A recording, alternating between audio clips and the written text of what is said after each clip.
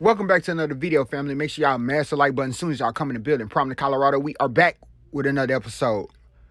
So the culture and players liking each other is a topic that came up. And it seems as though Coach Prime and Sonny Dykes has two different outlooks on it. In his press conference, Coach Prime has said, I don't care about culture. I don't even care if they like each other. I want to win. Even though he said that his team is cool, everybody get along. Well, Sonny Dykes came out and kind of had the opposite response to that. Check out what he had to say. Playing, so they go out and practice hard. They enjoy being out there. They like being around each other. Um, you know, I, I, think that's important. I mean, some people don't care. Um, I think that's a very important part of, of having a great team is guys that like each other and enjoy being around each other. And I just think it gives you a, a special a chance to be better collectively than you are individually. So pretty much Sonny Dykes is saying that he wants his team to like each other. He wants his teams to get along, everybody to be kumbaya and be on the same page and everybody liking each other. And Coach Prime said that, you know, he's been on teams where the quarterback and the receiver didn't get along. But when it came to handling business, they did what they had to do. So I guess this is one of those is however you look at it as a person. How do you look at the relationships?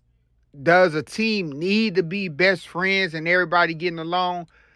Probably not. If if you played on teams, been around a lot of teams, college teams, a lot of the players didn't get along. You had a lot of cliques, a lot of different groups of people. You might have a secondary where the safeties don't even much talk to the cornerbacks other than on the field when they have to communicate about what the coverage is and the plays. Other than that, when they get off the field, they don't rock with each other. They don't even talk to each other. So you have that all the time in the locker room. That's that's nothing new. You're not gonna ever have a team where everybody gets along, everybody likes each other. That's not going to happen. So I kind of think that's unrealistic from what Sonny Dykes is trying to say, but you can't have it where you don't get along with these these certain person or whatever, these people out the field, but on the field, we're having issues and we're now playing together as one team. Because a lot of times people can turn it off and know that business is business. When you go to your job, you may not like a lot of people at your job, but you know you got to clock in